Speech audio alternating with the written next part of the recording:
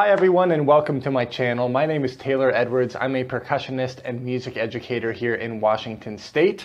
And today I felt like going through a couple of my cymbals and doing a review of a lot of the cymbals that I've played on for a good amount of time. And what actually inspired me to start with this cymbal in front of me is I'm actually planning on selling this ride cymbal here. So I wanted to get some videos and audio files out uh, if people wanted to buy it. But all that being said, this is kind of a player's perspective review on the K Constantinople bounce ride. This is a 22 inch ride cymbal. Um, I've mainly used this cymbal on a lot of jazz gigs that I've played, both big band and small group jazz combo stuff. Um, what I really like about this cymbal is it's crashable. It's thin enough despite being uh, its 22 inch size that it works pretty well as a crash.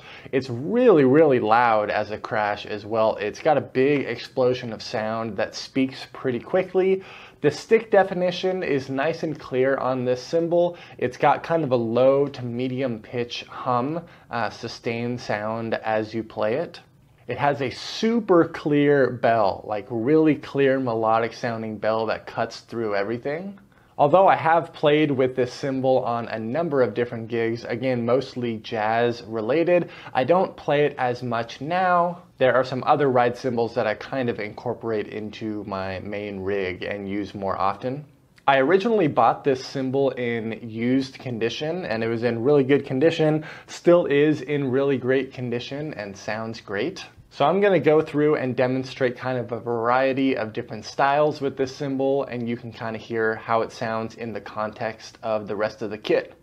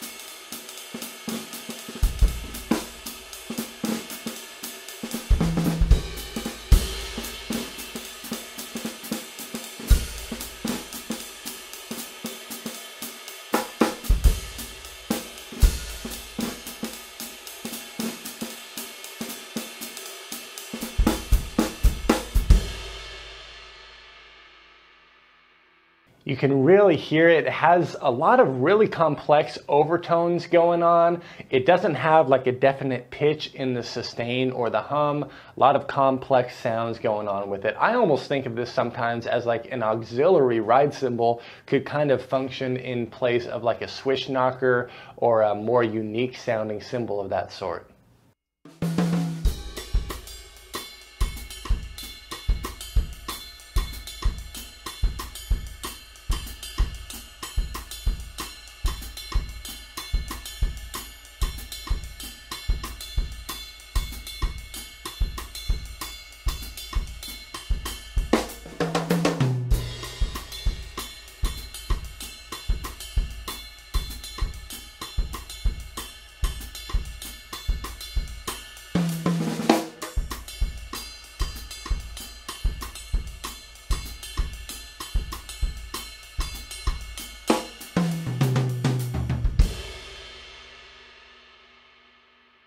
You can hear a really clear bell that speaks through the mix with ease. Let's try some heavier styles.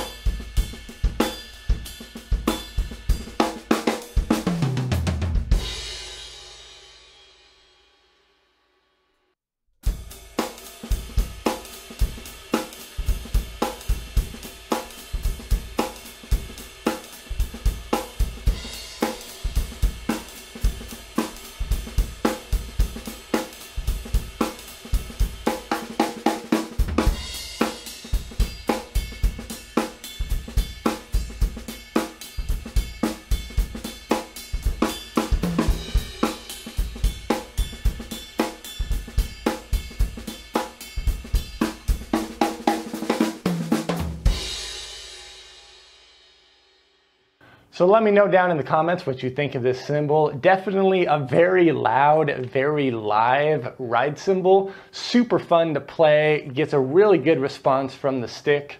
If you enjoyed the content, make sure to like, comment, and subscribe. Thank you everyone so much for watching, and I'll see you in the next video.